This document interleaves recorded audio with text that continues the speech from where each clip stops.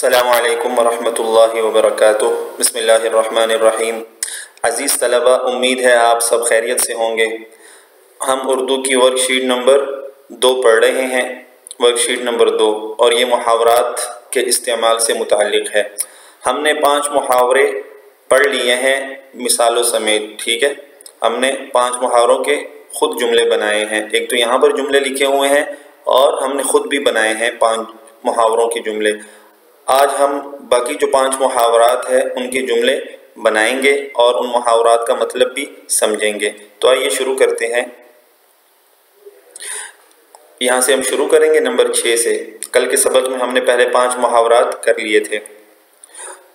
نا اہل لوگ ہمیشہ اپنے منہ میاں مٹھو بنتے ہیں۔ اپنے منہ میاں مٹھو بنتے ہیں، ٹھیک ہے؟ اپنے منہ میاں مٹھو بننے سے مراد کیا ہوتا ہے؟ اپنی تعریف آپ کرنا، خود اپنی تعریف کرنا۔ تو جو نا اہل لوگ ہیں یعنی جو نالائق لوگ ہیں، جو کسی کام کے لائق نہیں ہیں، وہ اپنے منہ میاں مٹھو بنتے ہیں، اپنی تعریف خود کرتے ہیں۔ تو محاورہ کیا ہمارے پاس آیا؟ اپنے منہ میاں مٹھو بننا۔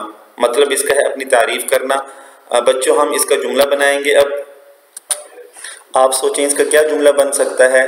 چلے میں آپ کو بتاتا ہوں ایک جملہ آسان سا کہ مثلا خالد ہر جگہ اپنے منہ میاں مٹھو بنتا ہے۔ ٹھیک ہے؟ یعنی خالد کیا ہے؟ ہر جگہ اپنی تعریف کرتا ہے۔ جی اب آگے ہم پڑھتے ہیں۔ نمبر سات ہے، آنکھوں کا تارا ہونا، اور اس کا مطلب ہے بہت پیارا ہونا۔ ٹھیک ہے؟ جملہ کیا ہے اس کا؟ ہر بچہ اپنے ماں باپ کی آنکھوں کا تارا ہوتا ہے یعنی اپنے ماں باپ کے لیے بہت پیارا ہوتا ہے۔ آنکھوں کا تارا ہونا، اس کا مطلب کیا ہے؟ بہت پیارا ہونا۔ اب اس کا جملہ آپ نے بنانا ہے، کوئی اور جملہ بنانا ہے اس محاورے سے؟ سوچیں آپ کیا جملہ بن سکتا ہے اس کا؟ آپ اس کا یہ جملہ بنا لیں کہ احمد اپنے ماں باپ کی آنکھوں کا تارا ہے۔ ٹھیک ہے؟ کوئی اور بھی نام کر سکتے ہیں۔ تو یہ بہت آسان محاورہ ہے، کوئی بھی جملہ آپ اس سے بنا سکتے ہیں مناسب سا۔ اچھا۔ آگے آگے ہمارے پاس جو محاورہ ہے، وہ ہے خاطر میں نہ لانا یعنی پرواہ نہ کرنا۔ ٹھیک، کسی کی پرواہ نہ کرنا۔ اچھا جملہ اس کا کیا بنایا گیا ہے یہاں پر؟ بچے بڑے ہو کر اپنے ماں باپ کو خاطر میں نہیں لاتے۔ یعنی بچے جب بڑے ہو جاتے ہیں تو اپنے ماں باپ کی پرواہ نہیں کرتے، ان کا حکم نہیں مانتے۔ تو محاورہ ہے خاطر میں نہ لانا نہ لانا یعنی پرواہ نہ کرنا۔ اب آپ آگے اس کا جملہ سوچیں۔ کوئی اور جملہ سوچیں، کیا جملہ اس کا بن سکتا ہے؟ میں آپ کو اس کا ایک جملہ بنا کر دیتا ہوں کہ زین ہر موقع پر من مانی کرتا ہے اور کسی کو خاطر میں نہیں لاتا۔ ٹھیک ہے؟ زین ہر موقع پر من مانی کرتا ہے یعنی اپنے اپنے من کی مانتا ہے، اپنے دل کی بات ہی مانتا ہے اور کسی کو خاطر میں نہیں لاتا، کسی کی پرواہ نہیں کرتا۔ اگلا اگلا محاورہ ہمارے پاس ہے کام تمام کرنا یعنی مار ڈالنا۔ یہ بہت آسان ہے۔ جملہ یہاں پر بنایا گیا ہے۔ بیماری نے بیچارے کا کام تمام کر دیا۔